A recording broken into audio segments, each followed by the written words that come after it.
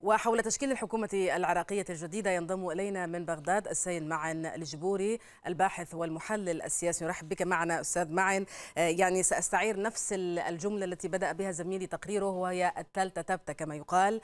وأخيرا شكلت الحكومة العراقية برئاسة السيد الكاظمي. نريد أن نفهم ما هي ركائز قوة الكاظمي؟ وهل هي كافية لينتصر على تحدياته؟ طاب يومك سيدتي والسادة المشاهدين. حقيقة بعد مخاض عسير وبعد إخفاقات كثيرة مرت بها النخب السياسية والأحزاب الحاكمة المتنفذة منذ 2003 حتى اللحظة آه، وأكثر من صعوبة منذ ستة أشهر هناك حكو... آه، لا توجد حكومة حكومة تصريف أعمال كما هو معلوم. اعتبرت هذه المرحلة يوم أمس أي منح البرلمان الثقة إلى كابينة الكاظمي ونجاحه في التشكيل رغم كما جاء في تقريركم أنه هناك سبع وزارات منها وزارتان سياديتان هما الخارجية والمالية لم يتم الاتفاق عليهما حتى هذه اللحظة. ولكن كمرحلة على الأقل الخروج من عنق الزجاجة والأزمة التي كان يخشاها الشارع العراقي وحتى النخب السياسية. عليه هذه العملية أعدت نجاحا نسبيا طبعا. آه. نحن ننتظر المعطيات على الأرض. الشارع العراقي لا يزال منتفض. المطالب التي يطالب بها كثيرة وقائمة طويلة من الإنجازات على الحكومة أن تقدمها. طيب بذكرك الشارع العراقي سيد معن هناك تحديات كبيرة.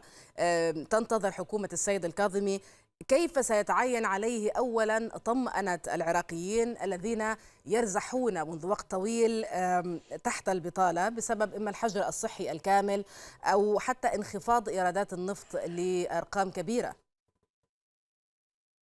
الأزمة الاقتصادية تعد الأزمة الأساسية التي يعاني منها العراقيون. نحن نعلم أن الاقتصاد العراقي هو اقتصاد ريعي معتمد على النفط وإضافة إلى موضوع كورونا التي قيدت الحياة اليومية. ونعلم أن ما يقارب 40% من الشعب العراقي هم في خط الفقر رسميا. على هذا الأساس سيواجه كثير حقيقة الكاظمي. الإشارة الأولى التي جاءت من من أمريكا آه. آه. في محاولة لدعم حكومة آه، الكاظمي هي إعطائه فرصة لثلاث أشهر قادمة يمول من إيران من حيث الكهرباء والغاز لكي تستمر ديمومة ديمومه الحياة طيب في العراق سيد معن آه اسمح لي يعني بذكرك الولايات المتحدة يعني نعلم من السي في للسيد الكاظمي إنه قريب حقيقة آه من من إيران وأيضا من الولايات المتحدة آه بنفس المقدار تقريبا. آه، هل هذا يعطيه ركيزة قوة وكيف؟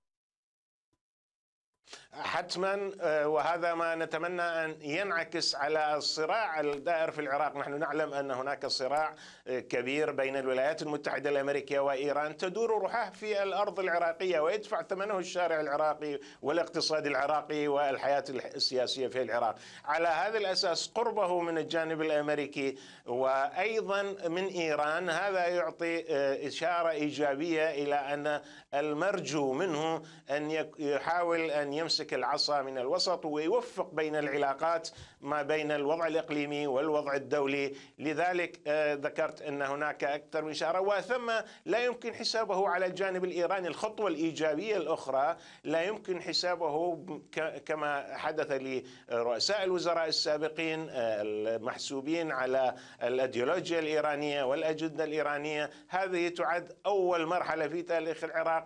تأتي آه، حكومة كابينة وزارية تعتبر مستقلة نسبيا وإن كان للأحزاب والكتل نعم. السياسية دالة في تكوينها ولكن على الأقل هناك آه، حد للطموح وتفهم للواقع العراقي الانتفاضة منذ أكتوبر من العام الماضي سيدتي غيرت المعادلة وأجبرت عادل عبد المهدي وكابينته على الاستقالة وهي من فرضت واقع جديد الكاظمي وكابينته الوزارية يدركون هذا الواقع وعليهم أن نعم. يعملوا نحن حتى اللحظة آه، بصدد انتظار انتظار ما سيحدث وأن الفترة الزمنية لا ننسى لا تتجاوز العام لحكومة الكاظمي عليه يجب أن يثبت على الواقع آه، تحقيق جزء كبير من برنامجه الحكومي التي أعلنه يوم أمس. شكرا جزيلا لكل هذه الإيضاحات. سيد معن الجبوري الباحث والمحلل السياسي كنت معنا مباشرة من بغداد.